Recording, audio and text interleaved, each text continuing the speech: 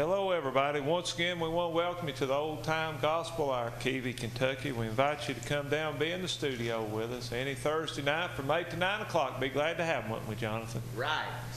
If you got something on your heart tonight, we want you to feel free to call in. We'll take your prayer requests, and it'd be a great honor and a privilege to get to pray for somebody tonight, wouldn't it, Brother Jonathan? Yeah.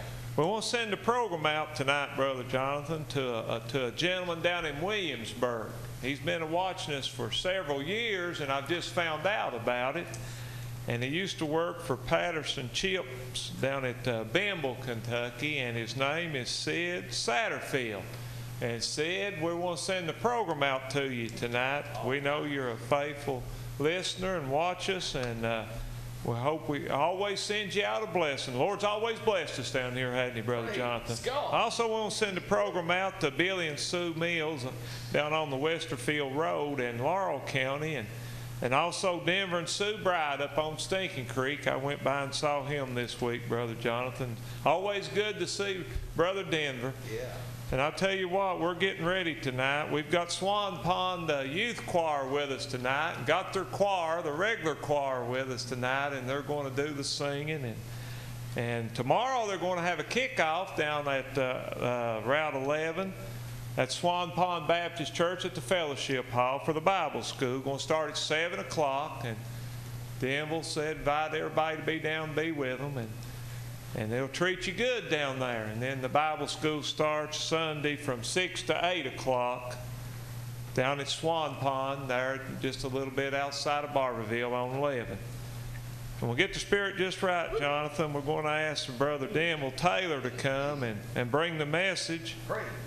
And uh, he's the pastor at Swan Pond. But uh, first time I ever heard him preach, Brother Jonathan, he was up at DeWitt. I like to tell this. It's true story, Brother Jonathan. He was up at DeWitt uh, Baptist Church, held a revival, Brother Denville, and I was there. Just got saved in about 1996, and I assume you preached around 1997. I can remember it and he was my barber. And I asked Denville, I said, Denville, I'm going to make an effort and come every night. And I said, if I can come every night, will you give me a free haircut? And he said, Jim, I'll give you a free haircut if you can come every night. And I tell you what, Brother Jonathan, he give me something better than a free haircut. All right. I tell you what, you've preached it, Jonathan, that the Lord will stir the spirit in you. And I tell you what, Denville, at DeWitt, you stirred the spirit in me for a week up there, and I always appreciate it and thank you. And I'll tell you what, if you'll stay tuned tonight and you pray for Brother Denville Taylor, Yeah. he'll tell you about a man who'll set you free, Brother Oh, Jonathan. Thank God. And we're going to ask you, Jonathan, to ask the blessing over service. Father God, Lord, as we come to you in the holy name of Jesus, we're so thankful to be here tonight to worship you in spirit and in truth. And Lord, for the ones that's watching by the way of TV, listening by the way of radio, and Lord, we ask you to reach out to their hearts tonight, Lord, like only you can do. Lord, give this church freedom and liberty just to praise you and to sing the songs of praise. Oh, and we thank you just to be here, Lord. And we love you so much. In Jesus' name, amen. Amen.